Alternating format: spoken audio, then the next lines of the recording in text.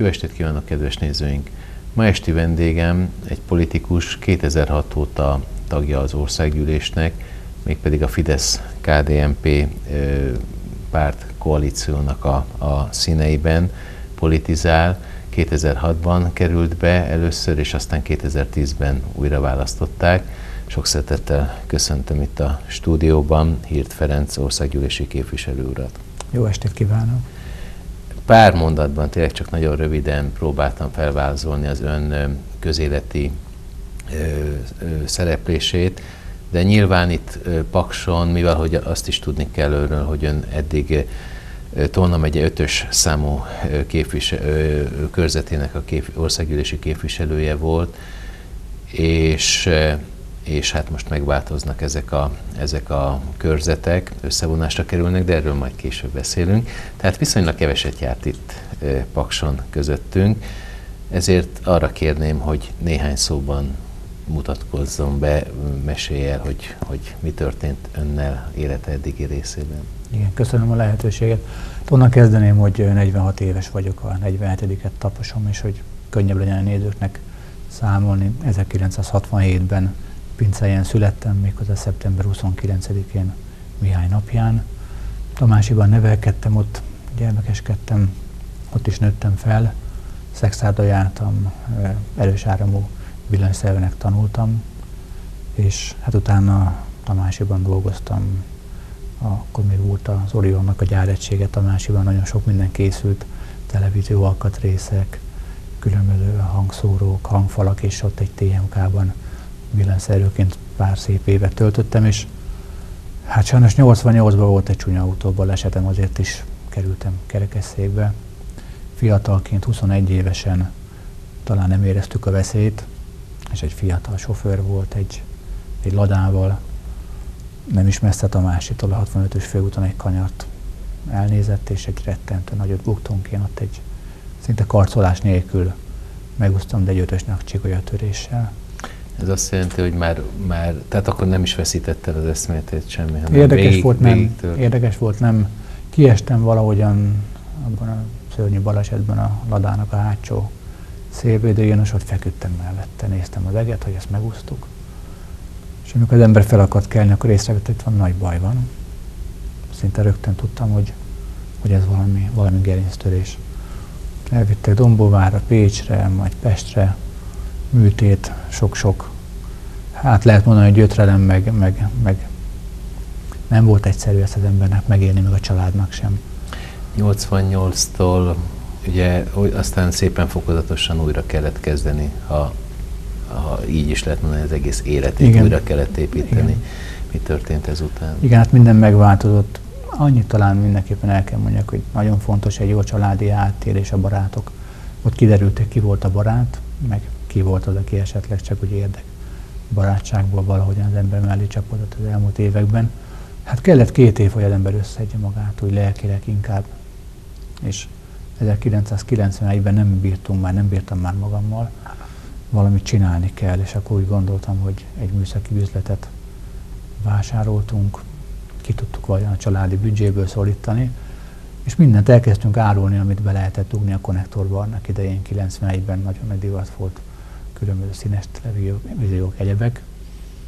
Majd nem bírva az autós véremmel valahogyan ez a benzin gőz az engem megcsapott, 93-ban megkerestük a magyar suzuki és, és szerződéses már a kereskedői lettünk a márkának. Egy családi vállalkozásban Attila öcsémmel közösen 50-50 százalékban, és hát 93 óta is tart ez a dolog, aki látott olyat, hogy Suzuki hírt autókon felirat, azok mi vagyunk. Azon gondolkodtam, miközben olvastam a, a, az életrajzát az interneten, hogy egy autóba esetet szenvedett ember ö, embert mi hajtja, hogy, hogy az autókereskedéssel foglalkozzon? Ez teljesen véletlenül jött így össze, vagy volt benne valami bizonyítási kényszer, bizonyítási akarat? Igen. Ezt sokan feltették nekem, édesanyám és egy édes kisfiam, hát hiszen az autó tett félig meddig tönkre, de én azt mondom, hogy nem az autó tette tönkre az embert, hanem a fiatalság, a bolondság. És ez olyan, mint amikor tényleg az embert ledobja a ló, hogy akkor is még egyszer fel kell rá szállni. Én, én, én szeretem és imádom a benzinközt, rally csapatot üzemeltettünk, működtettünk, még magyar bajnokok is voltunk 2003-ban az N3-as kategóriában, igaz, egy Honda Civic-kel, nem Suzuki-val, de Suzuki-val is mentünk nagyon sokat, és hát valahogyan megszállottja lettem az autónak nagyon-nagyon rég. Gyermekkortól kezdődött ez, és hát nagyon boldogak voltunk, hogy egy hivatalos márkereskedés képviseletében tényleg akár egy megyét vagy több megyét is áthallással, de szépen el tudtunk vinni, és rengeteg ügyfelünk volt. Azt tudom mondani, hogy most már tízzel fölött jár az ügyfeleink száma, és én remélem, hogy mindenki megelégedett velünk, és, és úgy jön vissza most már, mint egy, mint egy családi, családi napra. Sikeres vállalkozó pályát indított el, és, és folytat mind a mai napig. Mi ö, indította a közéleti szereplésre? Hogyan, hogyan önt keresték meg, vagy ön folyamatosan egész élete során érdeklődött a közélet iránt valamilyen szinten? Hát egy nagyon érdekes szituáció volt, ugye vissza kell kanyarodjak. A Tamási Ötös választókerületben Dávid Ibolya volt mindig ugye, aki indult, és hát őre szavaz mindenki, ugye, őre szavazott. Volt Tamásiban is környékén is Fidesz csoport, de mindig vissza kellett lépni. És ezt meg Igen, mert ak- akkoriban, ha még Igen. a nézők talán Igen. még emlékeznek, közös volt a, a sőt, Dávid Ibolya, sokszor a Fidesz indította Úgy, És hát rettentően büszkék voltunk tényleg Ibolya asszonyra, egészen magas pozícióig jutott. Ugye odaért a dolog 2005-re, hogy látszott, hogy mindenképpen komoly szakítás van a Fidesz meg az MDF között is. Hát a Tamási csoport egy olyan embert keresett, aki valamiért megbízható, ismert, és, és tényleg úgy ismerik az emberek a környéken. addig nem is politizált? Tehát nem folyt vele nagyon Hát olyan nagyon nem, nagyon nem, nagyon nem, uh-huh. nagyon nem. És akkor megkerestek, hogy elvállalnám, én mondtam nekik, hogy hát nem vagytok teljesen komplettek, biztos, hogy rám gondoltatok. Azért Tibolya mellett ez nem volt olyan egyszerű feladat, hogy neki indulni egy választási kampány. gyorsan el kell dönteni, mert 2005. októbert írtunk, amikor megkerestek. És hát nagyon sok beszélgetés következett, kértem két hét türelmet, és azt mondtam, hogy csináljuk meg. Nem vezérelt más, mint az, hogy hát ha bele tudunk szólni a saját életünkbe, és tudjuk azt jobbítani, egy olyan csapatot láttam magam körül, akivel azt gondoltam, hogy velük aztán érdemes. És azt gondolom, hogy meg is lett a sikere. Nagyon-nagyon sok segítséget kaptam tőlük, és hát egy érdekes kampány volt, mert akkor még Fragné dr. Kovács Szilvi, aki megyei közgyűlés elnöke Igen. volt, dr. Dávid Ibolya, ők voltak az ellenfelek, és rettentően büszke vagyok, mert több szabadot kaptam, mint ők ketten. Úgyhogy egy nagy, nagy meglepetés volt szerintem a, a külvilágnak is, hogy ilyen szabadott többséggel be tudtam kerülni a parlamentbe, de még egyszer mondom, hogy akkora ismertségem volt a vállalkozás kapcsán, hogy viszonylag könnyen ment ez a dolog. Ugye 2006-ban aztán így bekerült a parlamentbe, 2006 tavaszán. Ö, hogyan fogadták a, a parlamentben egyrészt a képviselőtársai, másrészt nyilván az, tehát a, a, a képviselők összességében, hiszen amennyire én tudom, ön a, a magyar parlamentarizmusnak az első kerekes székes képviselője. Tehát voltak-e rácsodálkozások, voltak-e nehézségei önnek ezzel kapcsolatban? Furcsa volt mindenkinek, én rettentően élveztem egyébként, mert nem volt minden rendszer ott felkészülve arra, hogy tényleg egy kerekesszékes képviselő megjelenik, és hát azért ott bizottsági munkák, még külföldre is kellett utazni, meg kell utazni elég sokat. Ugye rögtön bekerültem talán a, a, az állapotomból kifolyólag is, amit megértem ezzel kapcsolatban a Szociális Bizottságba. Érdekes volt látni azt, hogy tényleg engem is így fürkésznek, hogy na akkor hogyan, mint egyáltalán hogyan lehet ezzel az emberrel együtt dolgozni. És meglepetések is voltak, amikor rendezvényeket a második emeletre szerveztek, úgyhogy lift nem volt, és akkor néztek, hogy hát én nem tudok kiszállni a kerekesszékből és, és felmenni. De aztán egy-két hét, egy-két hónap alatt úgy szerintem beszokott minden. Ami nem volt jó akadálymentesítve, azt gyorsan megcsinálták, megbeszéltük, hogy hogyan lenne ez, ez talán jobbítható. Úgyhogy tényleg sűrögtek, forogtak ott a karbantartók, Érdekes volt, mert egyébként rengeteget beszélgettünk, talán még a Fideszen belül is nagyon sokat tudtam, és mai napig tudok segíteni a fogyatékossága élők kapcsán. Ugye nem egy, nem egy jó dolog, de ki kell mondjam, hogy sajnos talán nem volt, vagy nincs, vagy nem lesz olyan család, ahol nem volt, nincs, vagy pedig valami baleset folytán hát nem kerül be egy fogyatékossága élő, vagy valami csökkent ugye munkaképességű ember a családba, tehát előbb-utóbb sajnos majdnem mindenki találkozik azzal, a más nem az időskor miatt a fogyatékossággal. Tehát ez egy nagyon fontos terület, és nagyon büszkén viszem és, és vittem is eddig, bár megkaptam néha azt a bélyeget a, az ellenzéktől, hogy én vagyok a Fidesznek a diszpintje, meg a nem tudom én kicsodája. Én, én nem így éreztem ezt a dolgot, ez egy nagyon fontos munka. Épp ezt akartam kérdezni, hogy, hogy mennyire volt ez determinált, hogy, hogy ön éppen a Szociális Bizottságba került, és pont a fogyatékossággal élőket képviselt, azt hiszem, hogy, hogy teljesen egyértelmű. Hogy érzi, most már ugye 8 éves ciklus van az ön háta mögött, hogy érzi, mit voltak, mekkora a kudarcok, mekkora élmények voltak ezen a területen az ön életében? Hát azt el tudom rögtön mondani egy őszinte ember, hogy a rengeteg tennivalónk van még. Tehát ez elején vagyunk ennek az egész munkának. Ami talán legrosszabb ebben a akadálymentesítés, meg egyáltalán munkahelyteremtés, és annyi minden, ami ez a feladathoz, ez a, ez a, ez az ágazathoz tartozik, hogy talán a fejekben kell tudni akadálymentesíteni először és rendet tenni. És ezt nem lehet elkezdeni, mint gyermekkorban. Szóval egy 30-40-50 éves embert már nehéz átnevelni más gondolatokra, hogy hogyan kell egy lépcsőt kialakítani, egyáltalán hogyan kell megtervezni. Mindegy, hogy miről beszélünk, egy golyóstóltól kezdve egy televízió távirányítón át, akár egy, egy, egy, egy eladó pultnak a kiképzése, a kialakítása, sok minden. Az Unióban is elindult valami, és szerintem felhívtuk a figyelmet. Ugye van nálunk a Fideszben egy, egy, egy siket nagyot halló fiatal ember, aki szintén 2010-től négy éve később került be. Fontosak vagyunk, és, és rengeteg munkánk van.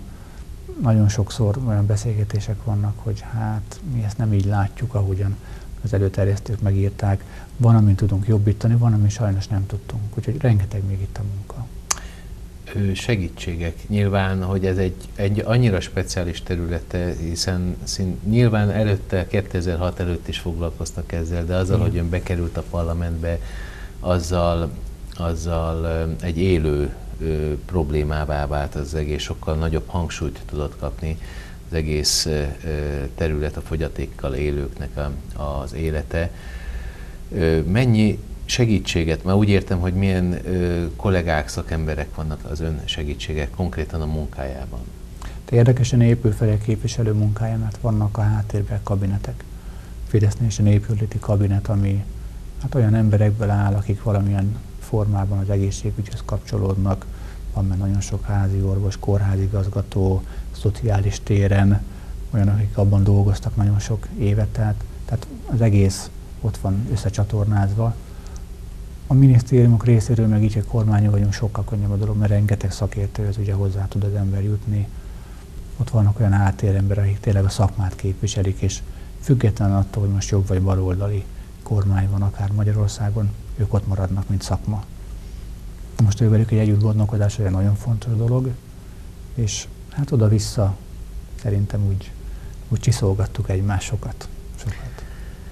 Ugye 2014 van, ismét egy választás elé nézünk, és ugye mi megszoktuk Tóth Ferenc országgyűlési képviselő urat már hosszú-hosszú évek óta, úgy emlékszem 2002 óta bőven megismerhette ez a körzet, aztán, aztán ő hát ha nem is eltűnt, de ritkábban látható mostanság, mióta kormány megbizottként, Tolna megyei kormány megbizottként tevékenykedik. És hát az apropó, hogy, hogy önnel most itt beszélgettünk, hogy önt jelölte pártja, a fidesz KDNP önt jelölte országgyűlési képviselő jelöltnek ebbe a, az úgynevezett Tolna megyei hármas választókörzetbe, ami most Tamásit, és Paksot, a Paksi körzetet és a Tamási körzetet vonja össze. Hogy érzi ön, hogy, hogy egyrészt ugye kevesebben ismerik itt Pakson, bár nem tudom, vannak-e Paksi kötődései? Ezt köszönöm ezt a kérdést. Ez egy érdekes dolog, amikor még gyermek voltam, és hogy az embernek hogy kezdett nyílani a világ, akkor édesapám egyszer beültetett az autóba, és elhozott Paksra, és hogy meglepődtem, hogy megyünk a temetőbe, és akkor mutatta, hogy hát itt nagyon sok úgymond ősünk nyugszik, és tényleg láttam ott a feliratokat. Valamikor még, még a hírtestvérek, öregapám azok itt voltak vízimolnárok a Dunán. Lejöttek ők egészen Németországból, és valamiért itt kötöttek ki Pakson. Akkor még ezeket ilyen hajómalmoknak hívták, amik ki voltak ugye ott horgonyozva kötve a Dunán, és hát ők itt elég sokat éltek. Valami, nem tudtam már ugye ővelük erről beszélni, a biológia nem tette lehetővé, de úgy döntöttek, hogy elköltöznek Tamásiba, és ott vettek egy, egy gőzmalmot, de így van kötődés, és a régi fényképek megvannak, volt itt üzlet, volt itt valami sok minden, és hát némi történetek is, de hát ezek csak így érdekessé teszik, hogy az ember úgy félig meddig úgy érzi, hogy, hogy, hogy félig meddig hazajön Faksra. Meg hát sokan meg is szólítanak, hogy emlékszem még hírtházra, meg papára, az idősebbek, úgyhogy érdekes így hazaérkezni. De a, de a kérdésre, hogy hogy is lettem ugye a Paksi választókerület képviselője, hogy egy nagyon érdekes dolog, 2010-ben, amikor mi képviselőjelöltökké váltunk, akkor miniszterelnök úrnak az első kérdése az volt Orbán Viktornak, hogy hát megszavaznád el 200 fős parlamentet. Aki ezt nem szavazta meg, az nem is lett képviselőjelölt. Tehát mi már úgy kezdtük a 2014-et, hogy tudtuk, hogy az első törvények között lesz az, hogy a 386 fős parlamentből hát egy rendes kurtítása végül 199 fős lett, ugye 2014 választások után fog majd áprilistól, májustól felállni. Azért ez nem volt egyszerű dolog. Igen, mert nagyon sok egzisztenciát is érintett konkrétan. Igen, ráadásul akkor már tovább mentünk, hogy ne lehessen halmozni az állást. Én nem biztos, hogy teljes egészében egyetértek a döntéssel, de, de, de úgy voltunk, hogy talán ez így jó lesz. Aki például polgármester és képviselő, az megint egy más tudással rendelkezik. Tehát a parlamentben az egy jó dolog, ha akár valaki orvos szakmát művel, vagy polgármester, vagy bármilyen más szakmából jön. Ugye most csak főállású képviselők leszünk majd, de nem lehet semmiféle más kereső tevékenységet folytatni, aminek lesz előnye, mert ezeket a nagyobb választókerületeket ugye így tudjuk ellátni. És hát így alakult az, hogy a Tolna megyében ugye volt öt választókerület, lett bele három, és így a Paksi meg a Tamási lett összegyúrva, a Dombovár Bonyháddal, és tehát Szexárd is kapott néhány települést, és ugye a régi Paksi 18 településből lett 34. Ez egy óriási választókerület. És ez egy óriási kihívás Így van, önnek. amire rettentően büszke vagyok egyébként, én nagyon szeretek dolgozni, és Ugye nem is úgy volt a jelölés, hogy maga a Fidesz vagy a kereszténydemokrata néppárt jelölt, hanem az alapszervezeteknek, a Fidesz csoportoknak kell jelölni, úgyhogy én nagyon köszönöm nekik, és nagyon büszke vagyok arra, hogy tényleg látnak bennem lehetőséget, megbíztak bennem. És visszatérve Tóth Ferenc képviselőtársamra, ugye neki pedig választani kellett, hogy kormányhivatalvezető, vagy országgyűlési képviselő. Nem volt ez könnyű. Hát főleg neki, aki nem 2002 óta Persze, szóval láttuk mi ebben. egymás szemein, hogy, hogy hát nehéz ezt eldönteni, meg, meg egyik pillanatra másikra azt a parlamenti munkát is ott hagyni. Biztos, hogy Ferének sem lehet könnyű, de így meg lesz osztva a munka, szerintem. Segítik egymást? Hát muszáj, muszáj, muszáj.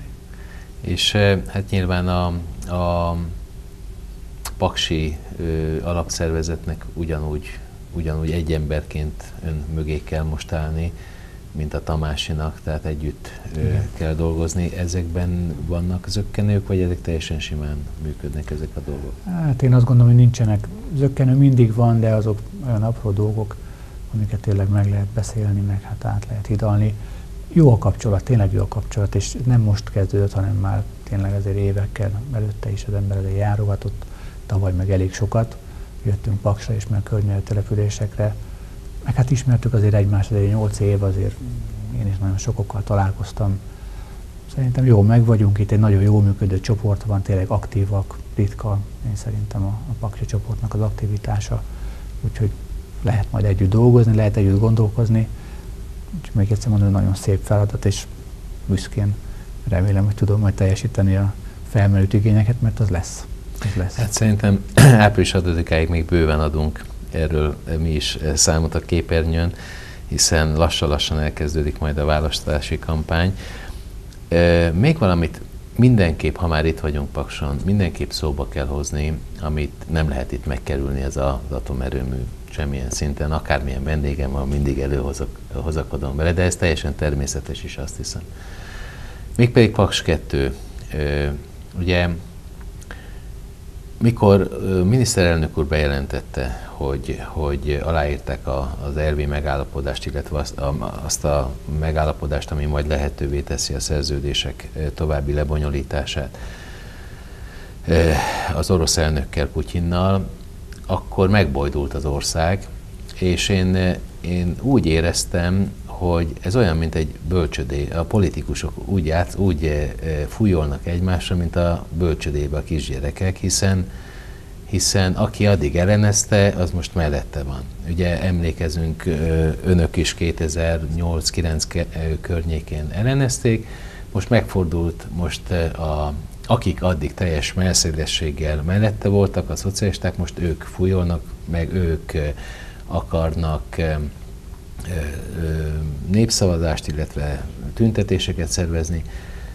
Miért van ez? Tehát ez, ez csak és kizárólag a kampánynak tudható be, az, hogy választási kampány lesz, illetve, illetve van-e valami más olyan a háttérben oka, amit mondjuk mi közönséges, egyszerű halandók nem tudhatunk, csak önök politikusok? Igen, köszönöm a kérdést.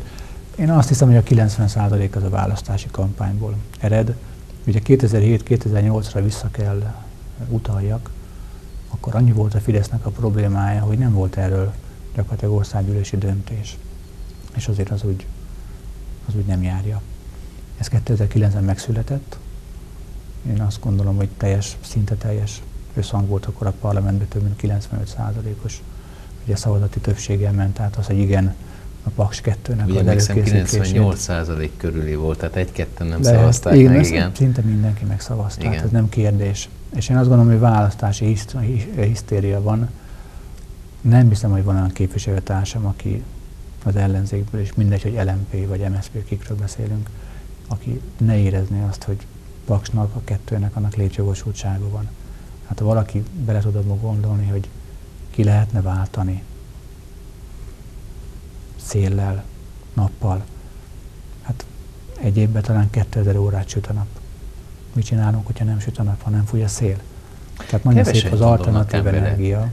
Kevesen gondolnak bele, tehát itt Pakson, még adott esetben azt mondom, hogy itt Tolna megyében még egy kicsit jobban ismerik ezt, ezt a területét a, az energetikának. Igen. De ha már távolabb megyünk, Igen.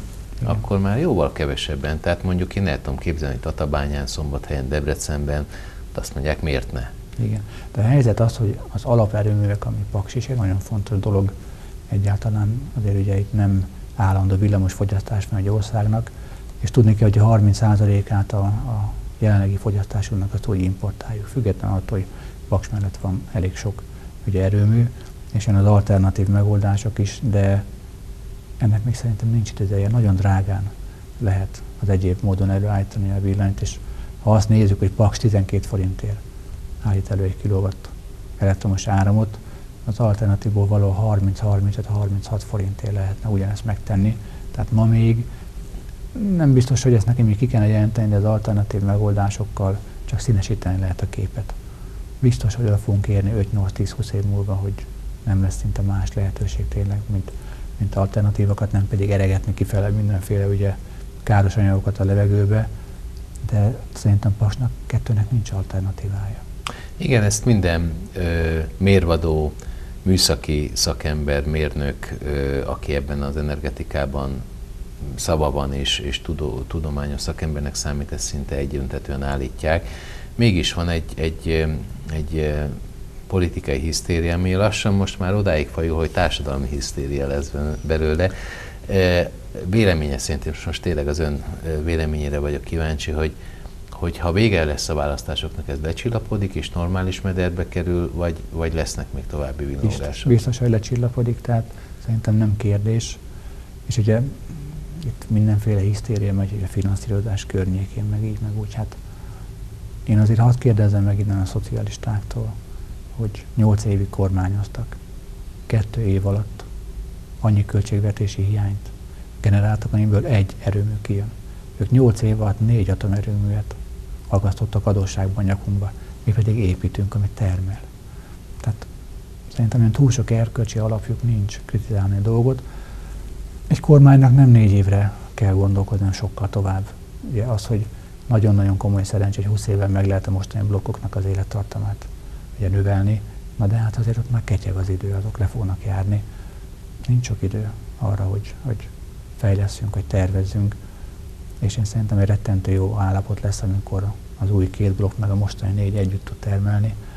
Majdnem 80%-át reményeink szerint el fogja vinni az országnak a, a szükségletének, ami egy komoly dolog lesz, nem leszünk importra szorulva oly mértékben, mint most, nem leszünk olyan kiszolgáltak, nem beszélve arról, hogy most a válság miatt azért azt tudni kell, hogy nyomottabb Európában és a világban is az elektromos áramnak a, az ára.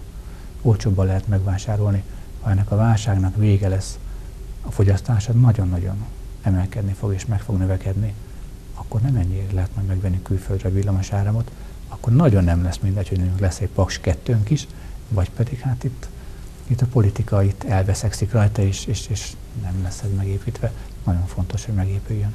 És lehet, hogy önnek is szerepe lesz majd ebben, mert a tamáskodók azt mondják, hogy hova tesszük azt a terra vatnyi, ugye az egy viszonylag nagy szám, fölösleget, ami éjszaka keletkezik, majd amikor együtt működik ez a hat erőművi blokk, éjszakai fölösleget, és erre a szakemberek azt mondják, hogy addigra el kell terjeszteni a villanyautózást, úgyhogy hát is szerepe lesz, lesz így van. ebben, hogyha azt mondják, hogyha 200 ezer villanyautó lenne az országban, akkor ezt a teravatnyi eh, energiát, ezt föl lehetne használni az őt feltöltésükre, az ő közlekedésükre.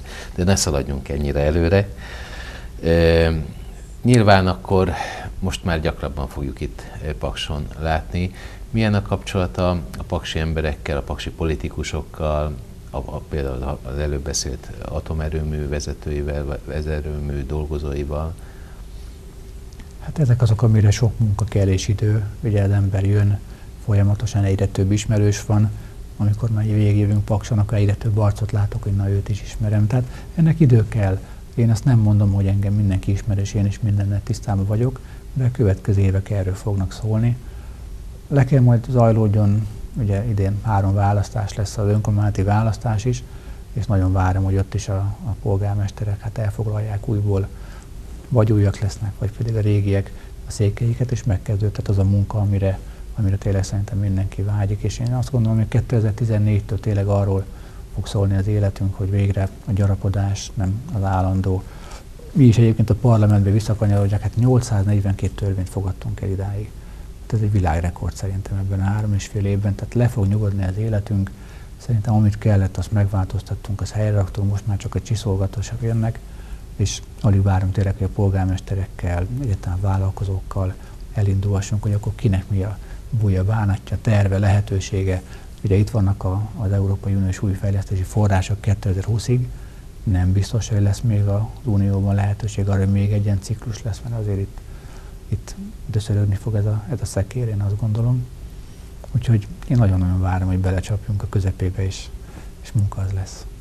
Hát köszönöm, és akkor jó egészséget kívánok önnek ehhez a munkához. Egyébként csak egy rövid mondattal ön inkább kampánypolitikus, vagy inkább munkáspolitikus? Tehát ami, tehát abban az időszakban érzi jól magát a kampányidőszakban, vagy pedig a, a elkövetkezendő időszak, tehát hát a munkás én, időszakban? Én szeretem a kampányt is, de nem annyira, én inkább dolgozni szeretek. Tehát az a, az a, az a nagy cirkusz, ami most lesz, én, én előre sajnálom a, az embereket, hogy mit kell végighallgatniuk mind a két oldalról, jobb és bal oldalról. Ennek örülök, hogy rövid a kampány, hamar itt lesz április 6-a, és akkor lenyugszanak a kedélyek és dolgozhatunk. Én nagyon-nagyon remélem, hogy meg fogjuk kapni továbbra is a bizalmat, ezért próbálunk majd ebben a kampányban minden településre elmenni, mindenkit, akit csak lehet megkeresni, megszólítani. Úgyhogy én bizakodó vagyok. Még egyszer köszönöm, hogy befáradt hozzánk. Azt hiszem, hogy még itt jócskán lesz alkalom arra, hogy, hogy megvitassuk egyrészt mi, másrészt pedig a, a ön ö, politikai kihívóinak, ellen, ellenfeleinek a, a téziseit, hiszen lesznek kampánybeszélgetések a, a választási időszakban, tehát április 6-ig. Addig is, addig is ö, sok sikert kívánok önnek, és köszönöm, hogy befáradt a stúdióba. Köszönöm szépen én is. Nézőinknek pedig köszönöm, hogy velünk tartottak, nézzenek bennünket továbbra is viszontlátásra.